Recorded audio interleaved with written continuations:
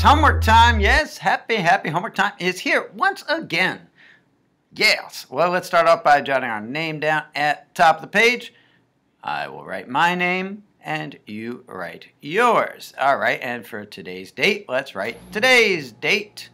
All right, today you write the actual date where and when you are in this world of ours. So in number one, Arabelle, bless her heart, solve the following division problem by drawing an area model. I'm glad to see that it looks kind of like mine, kind of cockeyed. All right, so we see here she did 1,600 divided by 4 is 400.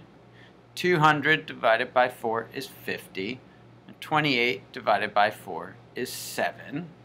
We can see each part of that. And in fact, when we get to part B, we'll actually be writing out what I just said. But when you put all these together, what was her dividends? 1600, 200, 28? You can tally those up in your head, right? That's 1828. So 1828. And what was she dividing by over here? Her divisor is 4. And what did she get for a quotient? 457. 400 plus 50 plus 7, 457. Great, with no remainder clearly, right? And now the second part, and we'll be doing this for all four, there's only four questions tonight, um, is drawing a number bond, and then in this case we'll be using the distributive property. Okay, so what she did was she started with this 1,828, right? And then how did she partition it? How did she model this out? Well, she said, okay, I can think of this as 1600, which makes sense because she's dealing with 4. And notice I write the number first and then draw the bubble around it so that the bubble is neither um, too big nor too small. And then 200, that works. Because we know 4 times 5 is 20, right? We can see the connection there. And that left 28. So there's our simple number bond. Now with the uh, distributive property, what she did was she simply took that 1600 and divided it by 4, right? And I'm going to put that in parentheses. And then what she got there, the quotient for that part of it, she added to this 200 divided by 4. I'm writing too small for my own good here. And then she added that to this part, right, the 28. 28 divided by 4. And just to complete things out here, we already know what you got. We don't have to do any math, right? This is 400. 1600 divided by 4 is 400, and that would be combined with, right, the 50 you get when you divide 200 by 4. And that would be added to the 7, which is your quotient when you divide 28 by 4. And we already put those together. They're easy to do. It's just basically expanded form, right? 457. Beautiful. Well, look at that. One down, three to go. Let's do it. And in number two, we get to draw our own area model. Okay, so let's draw ourselves a nice generous sized rectangle. It's a rectangle. Oh no. And we're dividing by 4, right? So we'll put that as our length. Now when we look at 816, I can think about 800, and I know that that is evenly divisible by 4. Now I could split it into 400 and 400. I could do that. But hey, let's, let's, uh, let's go all the way here, folks. And let's say 800 because I can also look at 16 and see that that's evenly divisible by 4 and make life easy here. So 4 times what is 800? Well, let's, let's break it down into those two steps. 4 times what is 400? Well, 4 times 100 is 400, right? So this is twice that, so it'd be 200. Ask yourself, does that make sense? 4 times 200, is it 800? We'll skip count by 200s.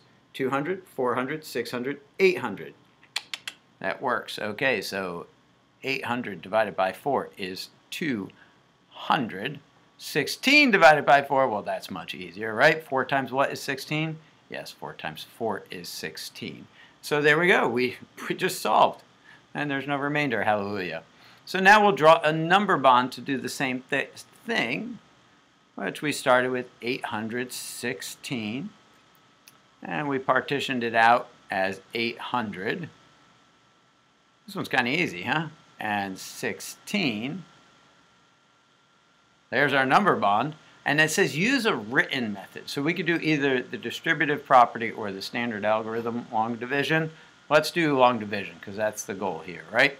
Um, so we're dividing 816 by 4. Well, how many 4s in 8? Yeah, we already know there's 2 because 2 times 4 is 8. Subtracting, we're left with 0. And now, look, this is a little tricky though in the long division. We have 110. How many 4s in 1? So I have 4 people standing there and I have a box of 10 donuts and they say, hey, give us each a box. I say, no, you get zero boxes because I only have one. I don't have enough to give everybody one. I just have one. So you get, as I just said, zero boxes of donuts, the 10 box of donuts. Because 0 times 4 is 0, subtracting, that tells me now, okay, I have to open up that box of donuts with the six loose donuts running around here. Ah, okay, good. Now we see what's going on. Now, how many 4s in 16? Yes, there are 4. If you look up here, 200, 4, 200, 4, we got the same thing. Twice, 4 times 4 is 16. Subtracting, we're left with 0. We know we should have no remainder because they said there is no remainder. Beautiful. Let's go on to number 3 and see what challenges it hath wrought. Well, yes, looks like we're doing something pretty similar here in uh, number 3. So we have our numbers 549, which we're dividing by 3. Now here the area model, you have to do a little more thinking. It's not necessarily harder. You just kind of have to think it out. All right, so let's do that. Let's draw a nice generous size rectangle and we're dividing by 3, so that's our length. Now when I look at 549, I say, okay, what's, what's the easiest thing I can do? start at, you know, like, again, going back with the donuts, to hand out these donuts, 549 donuts, sharing among three people. How about I just start by giving everybody 100 donuts, 100, 200, 300, right? And then I can deal with the rest of it. Just get 300 donuts handed out. Okay, so that is my first partition, is the 300 out of the 549. So now that leaves 249. Okay, so when I look at that, I see 249. I still have to hand out. Ah, that's 249. That has 24 tens in it. And I'm dividing by 3, and I happen to know that 8 times 3 is 24, right? So those 24 tens in 249, I can make that its own little section because I know that's going to work out evenly. I told you this one's a little tricky. I think about it. So 240, 24 tens, right? And that leaves 9. Now before we even solve this, I want to go down and write this out as a number bond so you could see what we're really doing here. We took the 549 and we said, okay, 300, I can hand out 300 donuts nice and easy. Everybody gets 100 each. And then that leaves me with 249. Well, if I do the 240, I know that can be evenly divided amongst three people because I know that 24 divided by 3 is 8. And that just leaves those 9 donuts to share fairly amongst three people. See, so there's the number bond as well. So, uh, and I just gave you, I actually just said, look, how many 3s in 300? 3 times what is 300? Yeah, we know that's 100. And then 3 times what is 240? We already said that 3 times 8 is 24. So, yes, 80. There you go. And double check to make sure that makes sense. skip count by 80s. 80, 160, 240. Okay, it works, all right? And then 3 times what is 9? In other words, 9 divided by 3 is, yes, 3. So our uh, final quotient there is 183. So now we use long division to, re to uh, record our work to figure it out there. So now we're doing 549 divided by 3. And you're going to see a very uh, clear similarity between what we do here and the number bond and the area model. And that's the point. That's why we're doing the same thing three different ways. We already know what the answer is. That's not the point. It's do we understand what we're doing? So how many threes in five? Yes, there's one, because one times three is three. Now before we go forward, look, do you see it there? That three is in the hundreds place, right? Oh, 300. That one is in the hundreds place. Oh, 100. Yes, it works. And when you subtract, look what we get here. We get 2, and then we can divide the 4 tens. Ah, 24 tens, 24 tens right there. 240 is 24 tens, correct? Ah, so it all works out. So how many 3s in 24? There are 8, because 8 times 3 is 24. And again, with that 8, it's in the tens place. Its value is, there it is, 80. So we subtract uh, back to the long division. We subtract, we get 0, but we still have 9 to divide. So how many 3's in 9? So there are 3 3's in 9 because 3 times 3 is 9. Subtracting, we get 0. All right, look at that. Everything matches up. 183, 183. Beauteous. Can you believe we're almost done? Woohoo! More outside time tonight. Yeah. And here we are, mopping up with number four. So we're going to draw an area model to solve 2,762 divided by 2. Tell you what, let's do, let's do things out of order.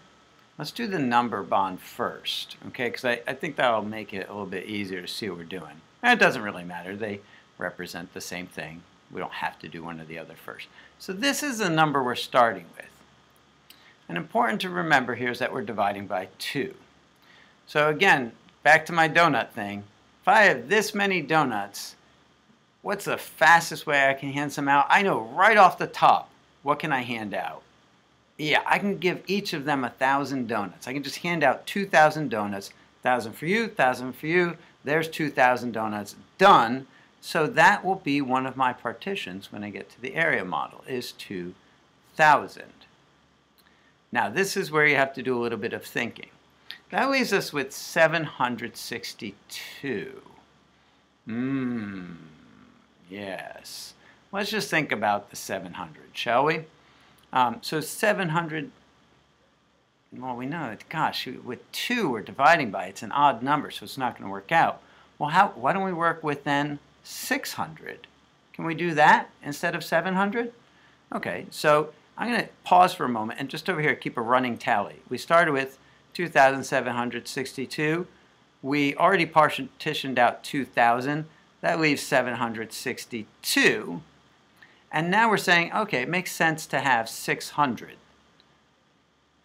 We can hand out 600 donuts to these two people pretty quick and easy by saying, there's two people, right? 300 for you, 300 for you. Okay, so now we've taken care of another 600 donuts. And that leaves us, you don't have to really do subtraction here, you just can look at it, 162.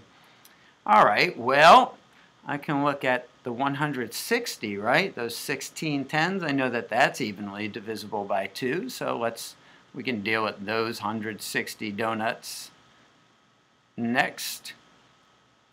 And of course, hardly need to write it here, but I will. And that will leave us just with 2. So you see, this one takes a little more thinking, it's no more difficult. You just have to spend a little more time thinking it out. So now, you see why we did this first? Now just drawing our area model is going to be easy. And by the way, I should mention, we could have done this differently. You could have made the 2,000 1,000 and 1,000. You could have taken the 700 and, I mean, you could have done all sorts of things here. So, um, but this is what I thought made sense. And it works. So we'll draw a nice generous sized rectangle here because we have lots of stuff we see to put inside it. And we're dividing by 2, so that's our length.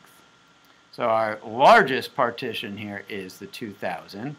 So I'm going to not make it as big as it should be to leave me some room for the rest of it. So this is 2000. And then we have 600. And then 160. I know these are totally not scale, and this is just 2. All right. So how many 2's in 2,000? 2,000 divided by 2 is, or 2 times what is 2,000? Yes, we had already said it, so there's no mystery. It is 1,000. Right? 2 times 1,000 is 2,000. So 2 times what is 600? In other words, 600 divided by 2. Oh, well, divided by 2 is like splitting in half. What's half of 600? That's right, it's 300. And check yourself. 300 times 2, 300 doubled 600? Yep, makes sense. So again, dividing by 2, 160. What's half of 160? Well, you know, half of 16 is 8, so half of 160 is 80. Yes. And double check yourself. 80 times 2, is that 160? Yep. 2 divided by 2, come on. Yeah, 1. And so, although I hadn't on the others, I just want to write here what that works out to be as a quotient. That it's 1,000, and it's just an expanded form, so I don't really need to add, per se, just 1,381. I just want to record that so when I get to the long division, I know what I should be getting for a quotient.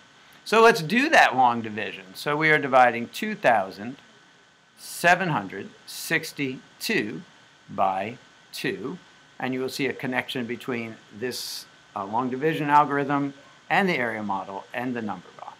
So how many 2's in 2? Yes, there's 1, because 1 times 2 is 2. Subtracting, we're left with 0. Now we can divide the 700s. How many 2's in 7? Yes, there are 3, because 3 times 2 is 6. Subtracting, we're left with 1. Now we can divide the 10s. We have 6 tens. So 16 tens altogether here to divide. How many 2's in 16? Yep, we just did it. It's 8 because 8 times 2 is 16. Subtracting, we get 0, but now we can divide the 2. How many 2's in 2? There is 1. You see my writing is getting smaller and smaller as I'm cramped for room here. Because 1 times 2 is 2. Subtracting, we're left with 0. Again, no remainder, thankfully. Ms. Thompson, you're needed in the main office. Ms. Thompson, you're needed in the main office. The gods have spoken. All right, well, anyway, it's a school. That happens. So uh, there we go, 1,381. That is what we got there. So everything looks beautiful, lovely. And believe it or not, that's it. This homework time is complete. I will see you next time. It is once again homework time.